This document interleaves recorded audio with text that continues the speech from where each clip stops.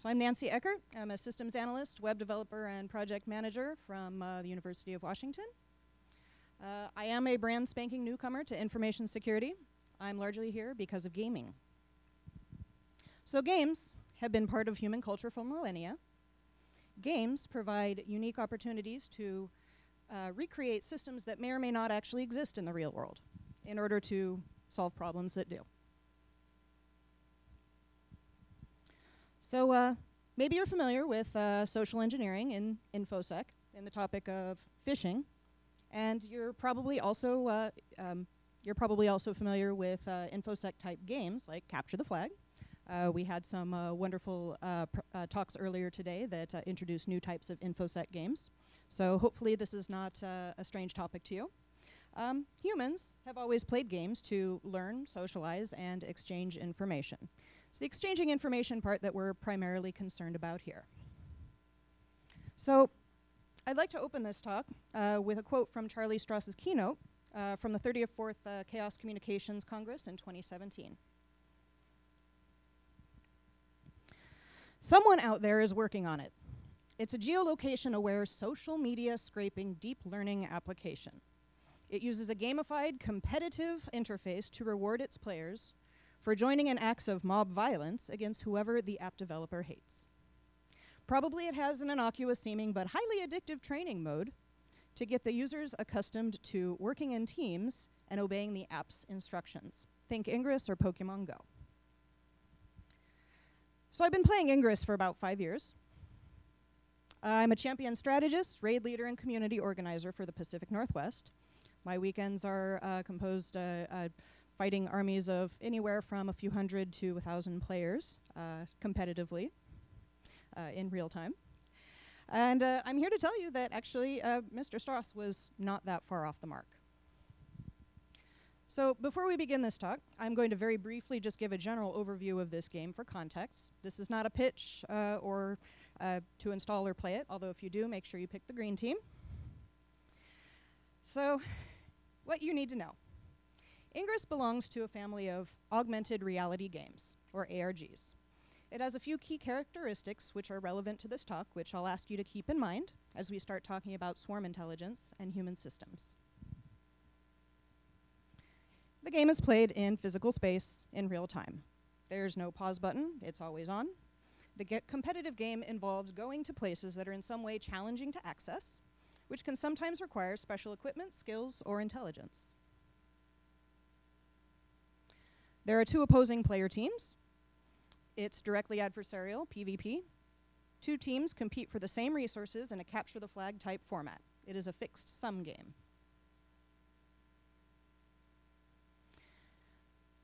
Big points are scored in the game through high trust operations involving the precise co cooperation of dozens to hundreds of people.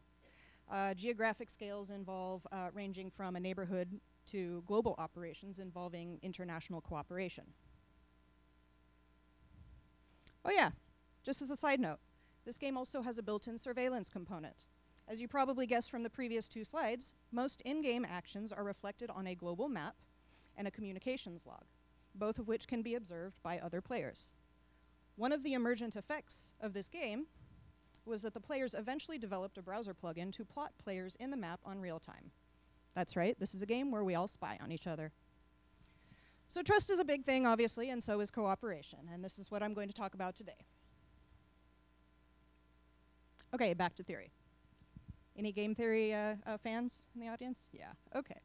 Everybody familiar with the, uh, uh, the prisoner's dilemma?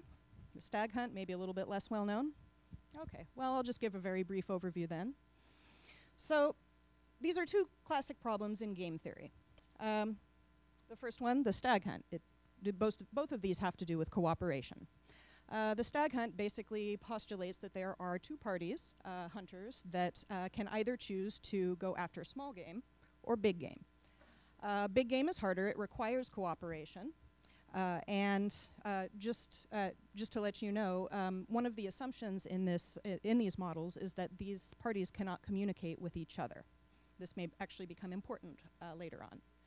So uh, in both of these games, uh, each party has an opportunity to cooperate or defect. Um, in uh, the stag hunt, uh, cooperating uh, uh, yields higher rewards.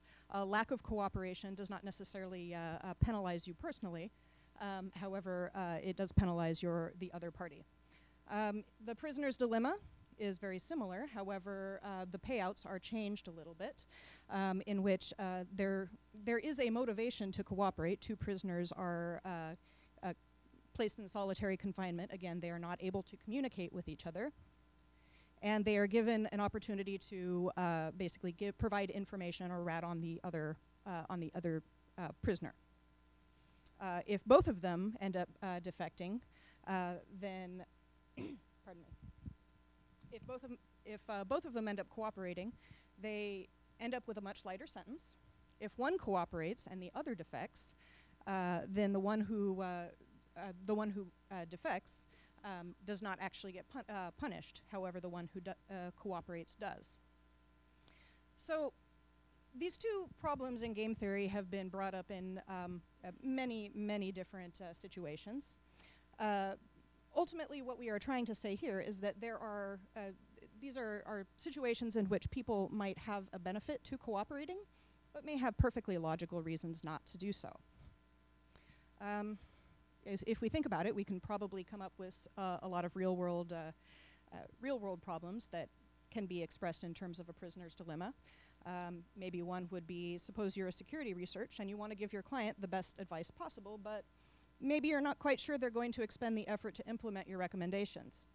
Uh, and you don't want to waste your efforts. So you basically have to make a choice. How much work are you going to put in when you're not sure you can trust the other party? If you both defect, you both lose.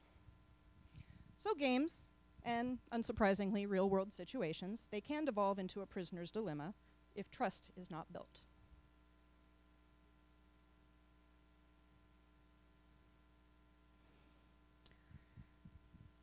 One of the very real criticisms of uh, game theory um, modeling is that humans, like cats, they don't always behave according to neat, neat mathematical models. For one thing, you can know that it is to your advantage to cooperate, and again, still have very good reasons to not do so, uh, especially when we are together in groups.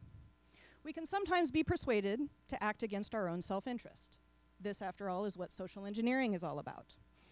However, social engineering, as we know, it can be used to build as well as disrupt systems. Ultimately, difficult tasks require cooperation. Sometimes they need organization. So the great question is how do you get intelligent, free willed individuals to cooperate? How do you get these people to act as a team? So, augmented reality games, MMOs, as well as any organization, particularly volunteer organizations, uh, are concerned with how to herd these cats. And there are a lot of strategies that begin with a single question Who's in charge? So, when we're building an organization, this is often the first system that we try to build. It's a pyramid. It's a very intuitive structure. So, yeah, you have your founders at the top that are calling the shots. This is where most of the valuable information uh, in the system is kept. Information flows from the top down. Uh, near the bottom of this pyramid, you have um, you have the the rank and file. Sometimes these are end users uh, in game terms. A lot of times they are new players. Uh, sometimes they are casual players. Uh, so there is also this sense that uh, if you are at the bottom of this pyramid, you want to be at the top. Uh, and you know, you have this is your individual goal, which may or may not align with the team's goal. So this approach has some strengths. Um, is it anybody have any ideas of what, what some advantages to this pr- approach might be?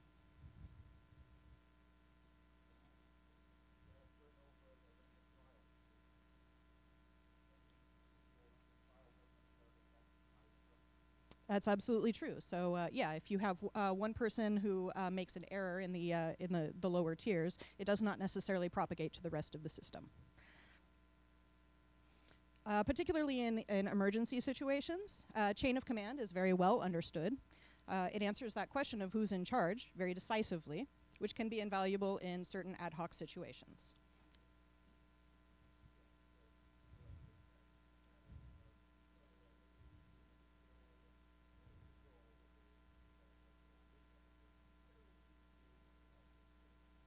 Yes, that's absolutely. Yes, that's correct. So you have uh, maybe the person at the apex of the pyramid need not concern themselves with uh, all of the day-to-day operations of what's going on uh, elsewhere, only the parts that they are personally uh, um, associated with. So there are also some disadvantages to this approach. Uh, anybody want to want to guess? Yes. the person at the top might make a stupid mistake. Yes, because that never happens. Yes, from the back. Yes, bandwidth. The person at the top cannot process that much data. Uh, uh, eventually, they will run up into a situation where there is just too much information for them to process.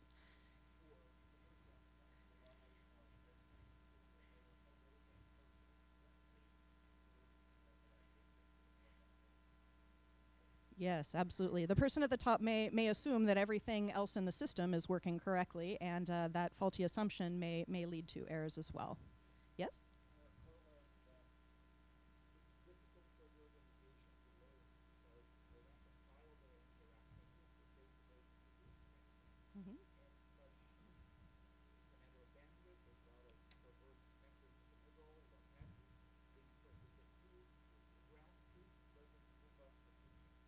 Ah, so uh, we, we have uh, a problem identified with information flow. A lot of the infor uh, most important information that is being observed by the uh, bottom of, of this pyramid may not necessarily flow to the top.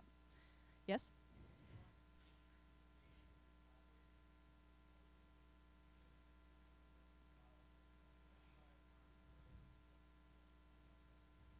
Yes, cross cross communication is uh, is suddenly very difficult. Uh, sometimes, you know, somebody on on this side of the pyramid may need to know something on the other side of the pyramid, and if your information flows from the uh, bottom up and then to the top down, maybe that won't happen. Yes, one more.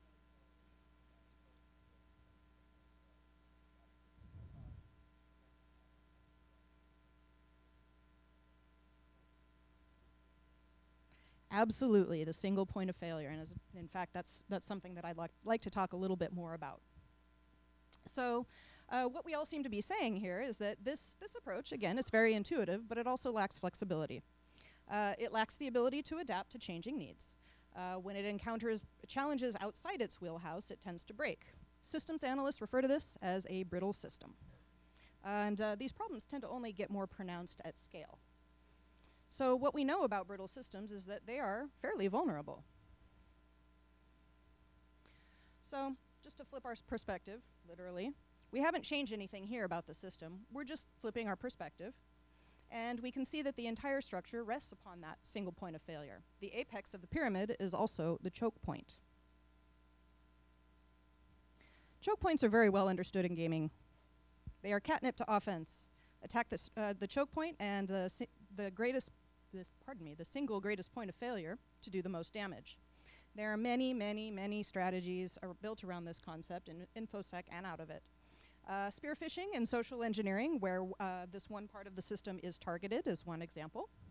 You know, uh, you could send IT support to fix the computer in the CEO's office, bypassing all of those other layers of defense. Uh, these are all variations of attacking the point of greatest vulnerability. Okay, so those of us that are tasked with defending the integrity of the system, whether we're playing a game or not, this is a real concern. It forces us to think a little bit more creatively about how we design our systems.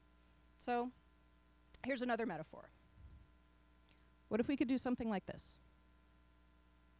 So at first glance, this appears to be kind of an unintelligent mob. These are starlings in a murmuration formation. In actuality, there's some crazy teamwork going on here. This is what swarm intelligence is. Now, this is not a new concept. It's used widely in programming, and uh, it, this is not accidental. Just as artificial neural networks are patterned on our understanding of how the brain works in the natural world, artificial swarm intelligence in computing is patterned on observed behaviors in the natural world. And it isn't just birds either. Fish and insects do it too. So fish, schooling for defense, uh, Army ants as well, solving complex problems through cooperation, adaptive specialization, and communication. They make rapid decisions through a kind of consensus building. But what exactly are they doing, and can we emulate it? to use a programmer's analogy, they're following a set of very simple instructions. They're, and they're processing information from typically their nearest neighbors. So from a security standpoint, this is pretty interesting because attacking one part of the system doesn't really do a whole lot. Since the swarm doesn't need information from the leader or the entire swarm, removing any one node here merely establishes a new nearest neighbor. It has this quality of resilience that resembles a self-healing organism. organism. So examples in the human world, there are many. Maybe you know of some. Uh, I've got up here the simplest example is a flash mob. This is a spontaneous, not really spontaneous, pillow fight we see here. Uh, can anybody uh, uh, maybe think of any other uh, examples of uh, uh, systems in the human world that maybe have a are swarms or have a swarm-like quality? Yes. Emergency, yes. Emergency um, emergency response to a fire. Yes. Yes. Yes, that's that's that's one I hadn't even thought of. Um, a wave at a football game. It, it, sort of grows organically out of maybe a few small portion of um, the population's uh, desire and coordination, and then it just sort of picks up steam. Yes, in the back? Twitter, yeah, that's a good one. Social, yeah, social media uh, definitely uh, has a lot of uh, swarm-like qualities. Yes. Um, political manifestations. Uh, I don't know about. Uh, I that's a challenging that's a challenging one. I can think of a few political uh, political situations and movements that definitely have swarm-like uh, capabilities, um, anonymous perhaps, or maybe even QAnon. Um, yeah, yeah, definitely. Yes, the stock market. You have uh, um, uh, something that is not necessarily uh, uh, controlled by a central authority.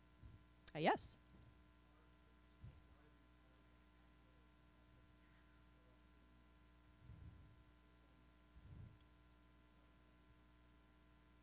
Ah, yes, Tra traffic patterns where, uh, um, again, the, the sort of end nodes are all influencing each other. Exactly. Um, I'll just name out a few uh, others here. Uh, let's see here. In the game EVE Online, uh, the appropriately named Goon Swarm, uh, famous, or some would say infamous, for rolling over their competition uh, with armies of newbies. the software company Valve, back in 2012, described a very swarm-like structure in its employee handbook, uh, which was uh, famously leaked, uh, encouraging employees to form their own small teams and take initiative wherever possible. Uh, another one, the Swedish Pirate Party, um, installed several members in parliament with a very swarm-like structure, famous for a three-pirate rule, which basically said if three members of the pirate party think it's a good idea to do something, they would be backed by 100% of the party's treasury. Amazingly, they never had a problem. Uh, another, another one, um, Al Qaeda, actually. Uh, General Stanley McChrystal um, uh, wrote a few books on this, um, but uh, he, he fought Al Qaeda in the 2000s, uh, described, described their decentralized organization as something the US military um, actually had to emulate in order to fight effectively. Uh, what he found was that uh, timely solutions tended to emerge from the bottom up rather from the top down.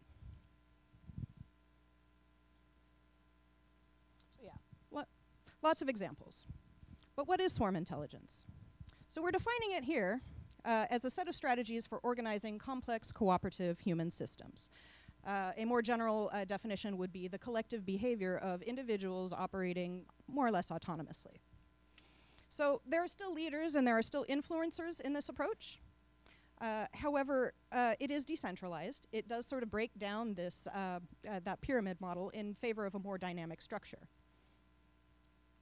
So swarm intelligence strategies leverage and empower the entire network, not just the people at the top.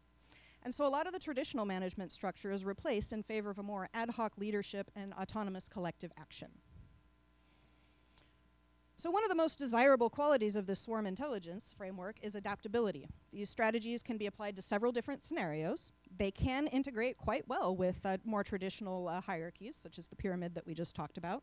And it offers solutions that uh, compensate for many of the challenges that, uh, they that, that they encounter. It's flexible, it's robust, and when it's done well, it's incredibly fast and efficient uh, way of coordinating large groups. So to reiterate the qualities of a swarm and why we might want to use one, flexible, Uh, it reduces overhead, uh, reduces reaction time by elimin eliminating a certain amount of bureaucratic overhead. Uh, it's resilient. Uh, it reduces surface area for potential attacks, uh, enables that self-repaired um, uh, repairing quality, and a lot of times it will even overwhelm the competition with greater resources, whether that's time, money, or interest. And it's efficient. efficient. Once again, it leverages the skill set of the entire swarm.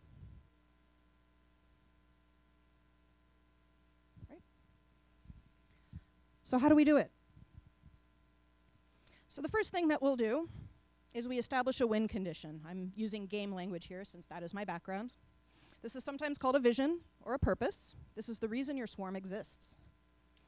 Uh, and then basically you break it down into first principles. Uh, you have to break down your, your skills into uh, first principles that can be mastered, and this is important, autonomously. Uh, if uh, you, you have a leader in the organization, you need to be able to free, free their bandwidth for um, other high, high level tasks. Uh, so the more that you can actually, uh, the more that you, you can actually have your swarm do things uh, autonomously, um, the better off you are. Uh, the third one, of course, is communication. Um, one of the one of the, the things that makes the prisoner's dilemma and the stag hunt um, problematic is that none of the parties are allowed to communicate with. Once you start introducing uh, this idea of communication, uh, we start to see solutions appear. So it's not enough just to make sure as a leader, if you, if you are, are managing a swarm, to give people all of the information you need. What you're actually trying to do is get people to talk to each other. But why? So when individuals acting autonomously have strong purpose, mastery, and communication with their nearest neighbors, collective intelligent behaviors will emerge. They're not always the behaviors that you expect. In some cases, they're not necessarily the behaviors that you want. However, this is this is the minimum uh, minimum conditions uh, necessary to catalyze uh, collective intelligence. And a lot of times, if you're trying to solve a hard problem, such as defensive security, um, you are going to need to uh, trigger that collective intelligence among your entire your entire group. We can actually break it down even further here, uh, make it even more universal. So to catalyze swarm intelligence in a game setting, here's our general equation. Play the game, talk to each other. Play the game. This is breaking skills down as far as possible to first principles that can be mastered autonomously. Uh, we call this unconscious competence. Again, it is the minimum condition necessary to unlock swarm intelligence. The swarm needs to be able to do the right thing by default. The more we can do um, autonomously, the more mental bandwidth we have for focusing on higher level tasks. So again, game is a metaphor here. It does not have to be a literal game, uh, although we will see in a moment why it might be. Uh, all this is is just a, a metaphor to describe the activity of your swarm. And talk to each other. The simplest foil, again, to the pr prisoner's dilemma is to allow the prisoners to communicate with one another. Communication needs to be fast and efficient. Uh, it needs to support the team. Again, it is not enough for the uh, apex of the pyramid to tell everybody everything they need to know. You need to get uh, everybody speaking to each other. So ultimately, what we have to do for this is establish trust, which mm, is not always easy. A lot of times, this can mean using a common language to optimize communications. If you've ever listened to hackers or tech people, experts, or highly skilled individuals in, well, any industry, you've probably noticed that a lot of times we have our own language. This is how we identify each other. This makes language a very powerful tool for uh, social engineering, for inclusion as well as exclusion. Uh, the other uh, piece of sort of talking to each other is a feedback loop. Uh, this, this goes into the uh, cross-communication need. Um, you have to uh, establish a healthy environment for feedback and be utterly fearless of criticism.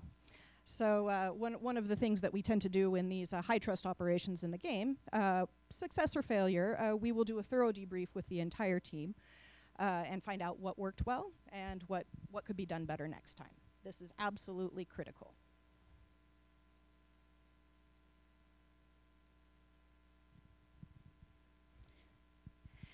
Here's another metaphor it's a party.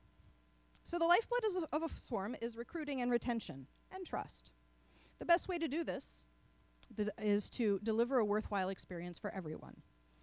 Uh, so, this could be a literal party, or it could be some other kind of worthwhile experience. Uh, how you want to deliver this worthwhile experience is uh, different with every swarm. Part of the social engineering challenge here is becoming fluent in a swarm's goals, what they consider to be a worthwhile experience, and tapping into that. That is to say, you have to do research to figure this out. You have to do recon, just like when you are uh, researching uh, any other social engineering target. Uh, your goal uh, through all of this will be to build trust and identify reward. Again, when we're doing this, there are two main chemicals that we're actually trying to activate in the brain. The first one is oxytocin, which is fundamental to trust and bonding, and the other is dopamine, which is uh, controls our reward centers and defines what we think of as a worthwhile time. As human beings, we have discovered a few uh, very reliable ways to activate dopamine reward centers in the brain, and maybe you can think of a few. The one that I'm thinking of right now is gaming itself. So, games have a built in win condition. This is what games are. Uh, games remove obstacles uh, for communication by providing opportunities to take risks and show vulnerabilities, for better or for worse. Games have been shown in many cases to be reliable than just about any other motivator uh, to get people to act for or against their own self interest. So when we create games that uh, that promote mastery of these skills, we're also reinforcing the swarm's win conditions, and we're promoting communication by establishing uh, by establishing trust. So again, this uh, this is what social engineering is all about. So when you are building trust, whether that is to persuade people to act for or against their own self-interests or the interests of the group, when we're successful at doing this in group situation, what what we're actually doing is building tribe. So by leveraging the problem-solving capabilities of the entire swarm and facilitating that critical cross-communication, you can truly make a team greater than the sum of its parts. And uh, just to go back to reference the uh, quote from Charlie Stross, uh, with great power comes great responsibility. Thank you all very much. Does anybody have any questions? Yes?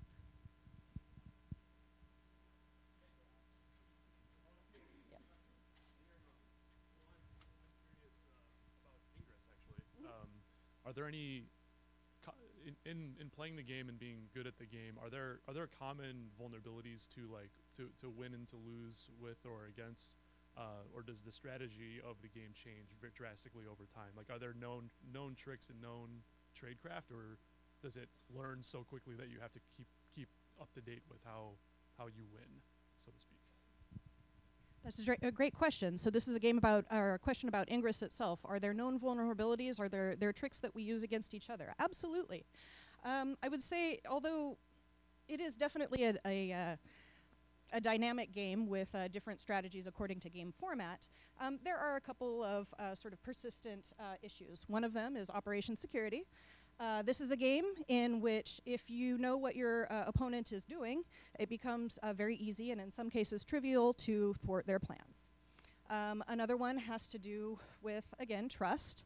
Um, and again, this, this goes into operation security. What's the best way, way to describe this? Uh, a lot of times um, you, you have this is a this is a game that's played in physical space. However, um, a, a, large amount of it is done virtually. So we do have a lot of people who uh, maybe are pretending to be somebody that they are not. Uh, so uh, establishing trust by uh, verifying identity and uh, verifying goodwill um, is definitely something that uh, is is always important in the game. Yes.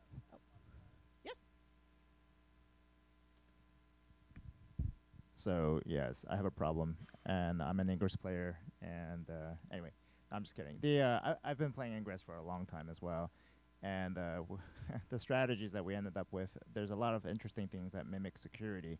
So, um, for example, we were able to. Uh, you're not supposed to create portals in areas that you can't publicly access. access. Somehow we were able to, and so we were able to establish uh, segmented areas. Okay. The other thing that we also uh, tracked was when we saw the blue team member, uh, was I'm green, go. And uh, as we saw blue team members coming in, we would notice that uh, we, we, we would have a buffer zone, if you will. So there are certain portals that we wanted to protect because they were high level portals and we had loaded them up. you know, they were our crown jewels, if you will, um, but they were still in public areas, and so we created a buffer zone where we knew that they were coming, based on the trajectory of some of these other players as they appear to take over portals around us. And so whenever uh, we had enough sufficient amount of time to be able to get enough people to thwart any attacks within a given area. So just having some, some a set of defenses um, where you can uh, where you can see attacks coming is a very helpful um, was a very helpful strategy for us as well. So the way uh, in the security realm, what we call that is a crumple zones, areas that we don't we are okay if they start getting hit in some sort of way, uh, but we don't want the the crown jewels to get hit. All right. Uh, yes.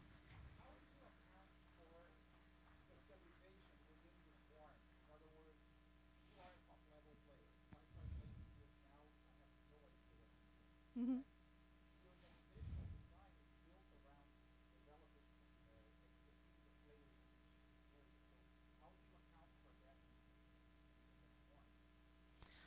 It's a great question. So the question was, how do we account for specialization in the swarm? There is a wide diversity of uh, skill sets in a given swarm.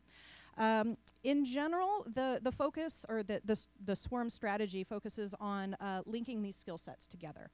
Uh, now, again, I, am a high-level player. However, I, um, for you know whatever reason, I may not have the bandwidth to monitor a certain area.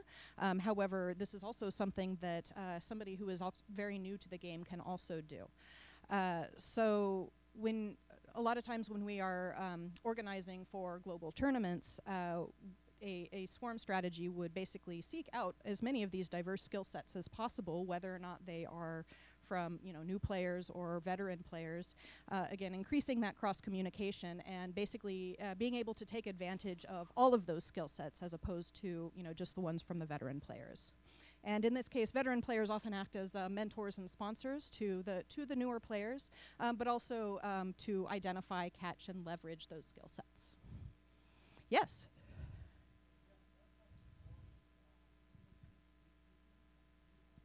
Yes.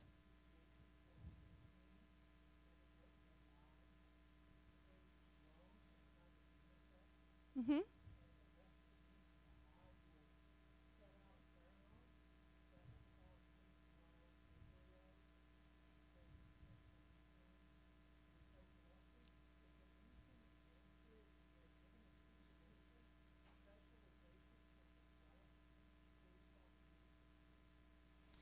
Ah, yes. So the, the question was about uh, whether um, specialization and uh, I think you were you were speaking uh, about polymorphism in uh, um, in insect col colonies, uh, where um, uh, players or entities or you know bee bees actually change them some something about their own selves to um, to meet an emerging need. yes, absolutely.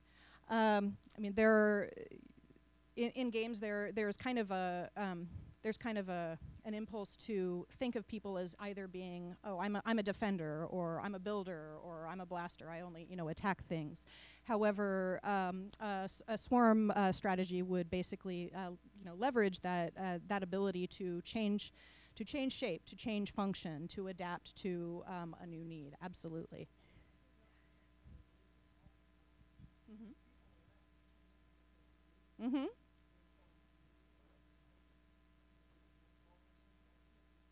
Oh, absolutely. Anybody ever work for a company where they, yeah.